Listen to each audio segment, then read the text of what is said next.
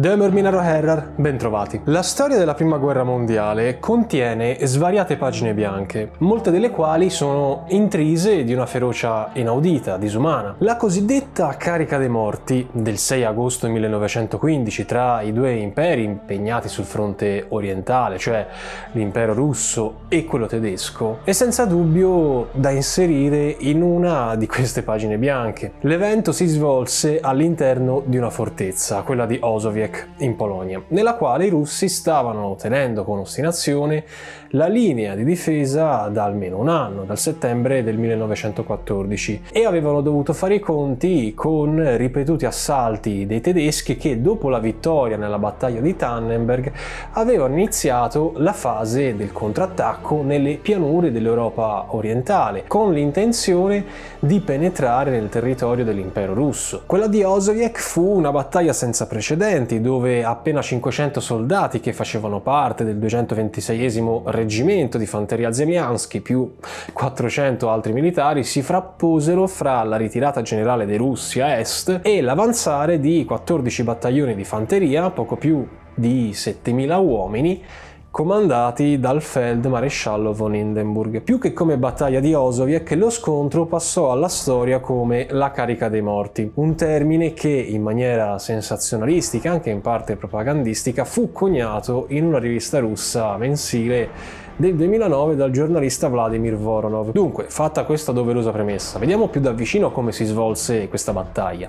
Il video di oggi è un pochino alternativo. Io devo ringraziare prima di tutto le capacità artistiche di Simone che si è offerto gentilmente di prestare la sua penna per la stesura di tre fantastici disegni che vi farò vedere in speed drawing cercando un po' di alternarli con immagini e altre cosette varie. Quindi un grazie enorme al mio omonimo. Se volete fate un salto sulla sua pagina Instagram, ve la lascio in descrizione così da poter vedere altri dei suoi capolavori. Bene, partiamo.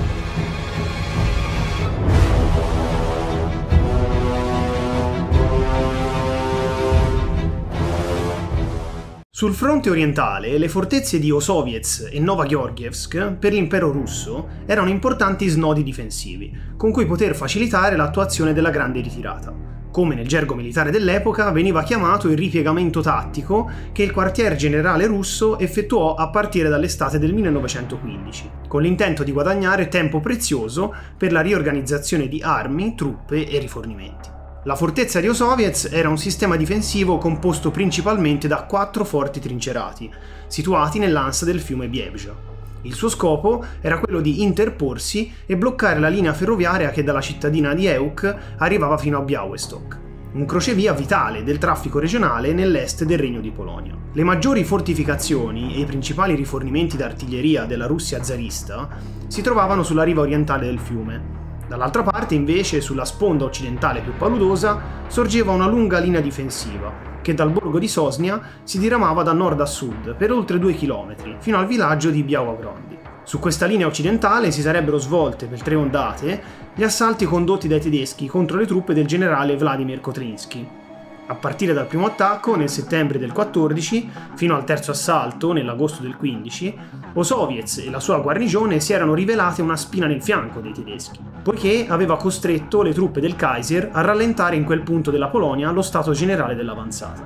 Nonostante i vari tentativi di accerchiamento e l'uso intensivo dell'artiglieria tedesca, il forte in mano ai russi resistette senza grossi problemi per almeno un anno. Alla fine, L'esercito tedesco, per smuovere la situazione, si vide costretto ad attuare misure estreme. Nel luglio del 1915 le truppe tedesche al comando del feldmaresciallo von Hindenburg iniziarono un'offensiva a tutto campo lungo il fronte orientale, occupando gradualmente le varie province polacche che erano rimaste sotto il dominio della Russia zarista fin dal XVIII secolo.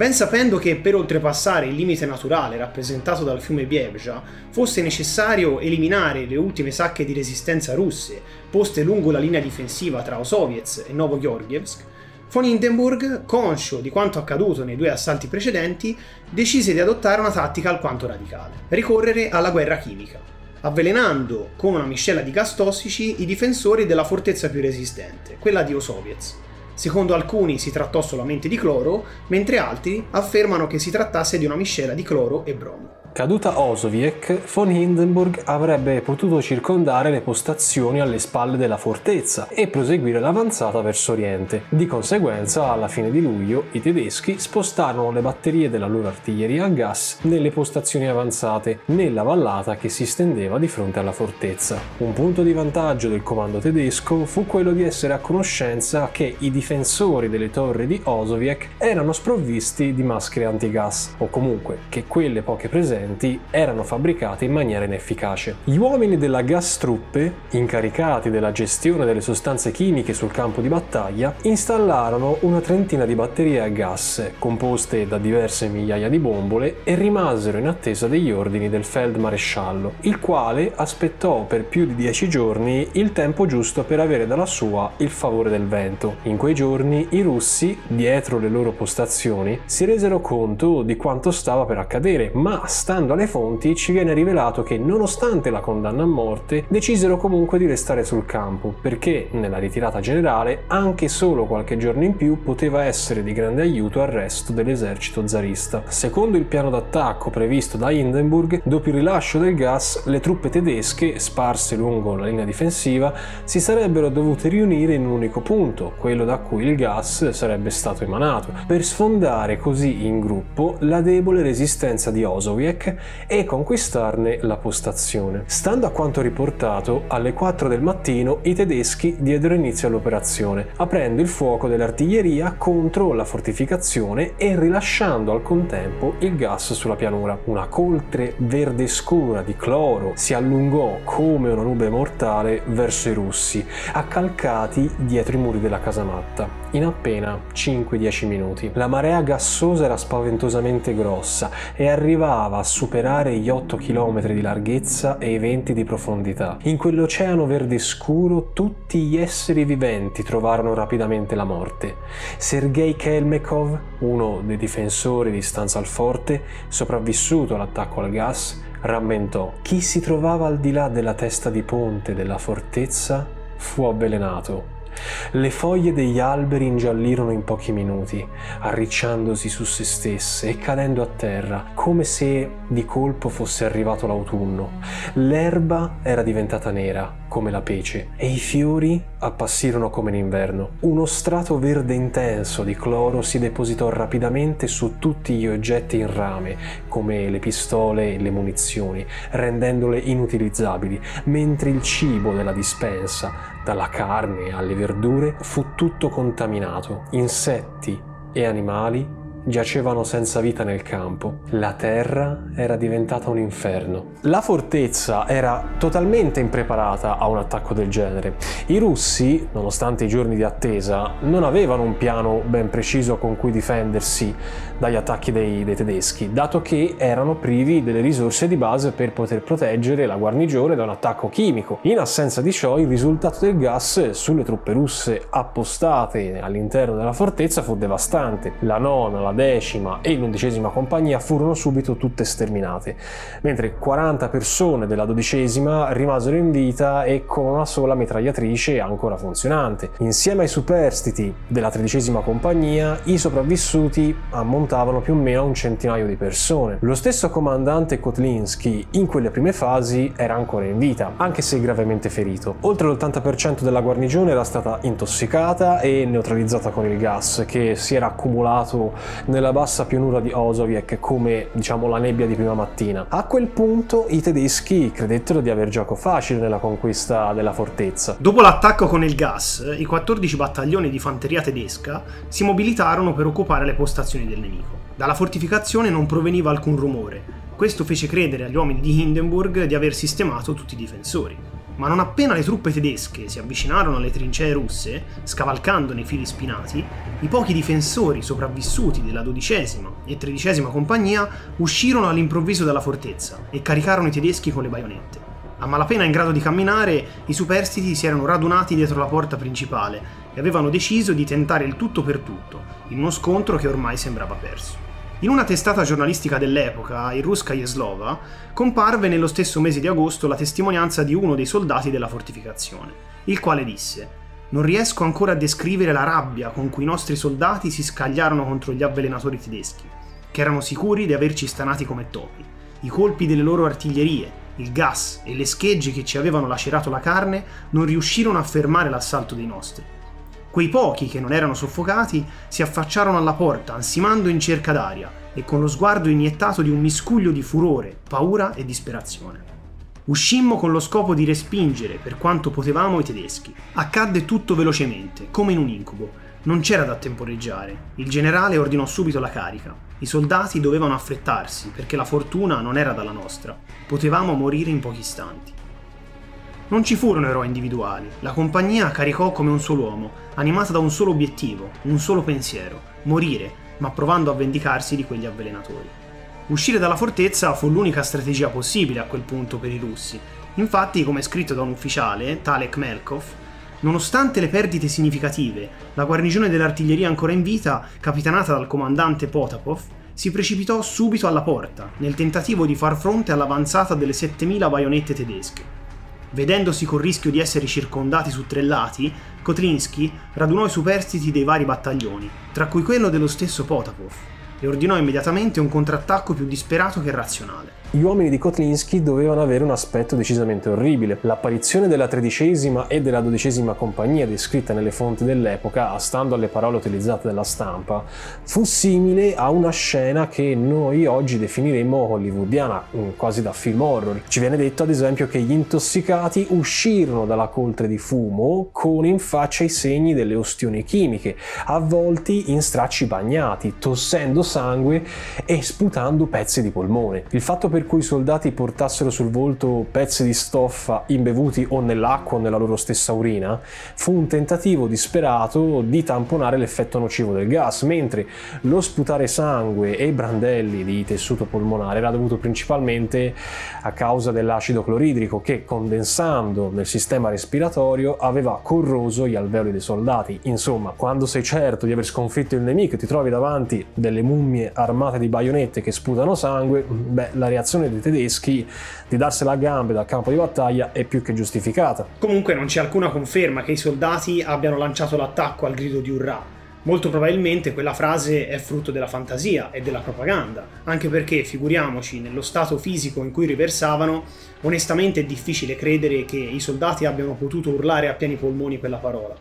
Tutt'al più avranno gridato debolmente, Magari si trattava di un rantolio lamentoso, ma non quel grido convinto che ci viene descritto dalle testate giornalistiche e dai diari dell'epoca. A circa 400 metri dalla postazione di difesa, il primo a sparare fu un gruppo di sei soldati della tredicesima compagnia la prima a essere uscita dalla fortezza, capitanata da Kotlinski. Di fronte all'imprevedibilità di quell'attacco e alla visione di quella massa di moribondi, i tedeschi rimasero talmente spiazzati da andare subito nel panico. I tre reggimenti si ritirarono in fretta e furia. Rimasti intrappolati nell'intricata rete del filo metallico della trincea, molti dei tedeschi, calpestandosi anche a vicenda, morirono sotto il fuoco delle batterie russe rimaste ancora operative. Il fuoco degli uomini di Kotlinski, concentrato sulla prima linea di trincea, fece desistere il nemico che, vedendo fuggire con militoni, abbandonò nel caos generale le trincee, lasciando cadere fucili e mitragliatrici, le quali furono prontamente catturate dai superstiti russi. Allo stesso tempo, quei pochi soldati tedeschi che avevano cercato di porre razionalmente una resistenza, rimasero uccisi nello scontro con le baionette dei russi. Alle 11 del mattino, dopo delle ore infernali, con la riconquista delle postazioni, l'assedio poteva dirsi concluso. Fu così che il contrattacco della tredicesima compagnia decise lo svolgimento della battaglia. Come riportato sulla testata giornalistica di Mosca attraverso le parole di uno dei soldati, alla fine dell'attacco il sottotenente Kotlinski rimase gravemente ferito. In totale la tredicesima compagnia catturò 25 soldati, sottraendo loro munizioni armi ed equipaggiamento da campo e infliggendo ai tedeschi impanicati pesanti perdite in termini di morti e feriti. La reazione dei tedeschi di fuggire dal campo di battaglia è stata variamente interpretata dagli storici di entrambe le parti. Secondo alcuni fu effettivamente uno scatto di incredulità che spinse i tedeschi a cercare di tornare dietro le trincee per riorganizzarsi, nel timore che tutti i russi in realtà fossero sopravvissuti al gas tossico. Secondo altri invece fu proprio lo spavento provato dinanzi alla resilienza, alla determinazione, alla testardaggine dei russi che, semidistrutti sia fisicamente che psicologicamente, immaginatevi di sputare i vostri stessi organi in preda al dolore e all'asfissia, decisero comunque di caricare un'ultima volta contro i tedeschi. Tuttavia, secondo alcuni, è più plausibile pensare che delle molte vittime celebrate dai russi, in realtà i caduti dell'esercito tedesco ammontassero al massimo a circa 200, un numero comunque sorprendente considerata la situazione sfavorevole. Per le ferite riportate nella fase del contrattacco e per quelle del gas velenoso, Kotlinski morì la sera stessa nell'ospedale da campo della guarnigione. A lui fu tributata post mortem la croce di San Giorgio per il coraggio dimostrato durante le fasi della resistenza. Sebbene da un punto di vista tattico la battaglia di Osoviec non serviva molto all'impero zarista, dal momento che i russi riuscirono a mantenerla per altre due settimane prima di ritirarsi, com'è comprensibile, la notizia della resistenza riscosse una grande risonanza all'epoca dei fatti, tale da suscitare scalpore e rabbia, fino a diventare motivo d'orgoglio tra la popolazione russa nel corso della guerra. Ancora oggi però rimangono molti aspetti oscuri riguardo a questa famosa carica. Ci sono molte documentazioni da parte russa, di cui una buona fetta pompata dalla propaganda nazionale, mentre decisamente meno da quella tedesca. Nonostante dobbiamo ricordarlo, a comandare le operazioni ci fosse la presenza di un generale di alto livello, come lo stesso Hindenburg. Tutto ciò non ci fa comprendere appieno quanta verità di fondo ci sia nella resistenza compiuta da Osoviets. Sta di fatto che, indipendentemente da come andarono le cose, l'evento fu, nella storia delle battaglie e anche nel valore dimostrato, un fatto a sé stante. Forse, secondo l'osservatore russo Sviekin, i soldati, tra virgolette zombie, ebbero addirittura la meglio in quelle ultime fasi concitate proprio grazie alla loro stessa tragedia, alla sfortuna cioè di essere soffocati dal gas tedesco. Per farla breve, i russi sopravvissuti sfruttarono la situazione fino all'ultimo secondo, facendo avanzare i tedeschi e facendo loro credere che si sarebbero trovati di fronte solo a un cumulo di cadaveri. In un certo senso, se proprio vogliamo vederla tristemente in questo modo, fu proprio il gas a salvare quei pochi superstiti, o almeno quelli che non uccise nelle fasi immediate alla battaglia. Ragazzi, come sempre, vi ringraziamo per l'ascolto. Inoltre, un grazie ancora una volta al nostro Simone per aver realizzato il concept artistico del video, che spero vi sia piaciuto. A presto, ci vediamo in un prossimo video. Per Aspera ad Astra.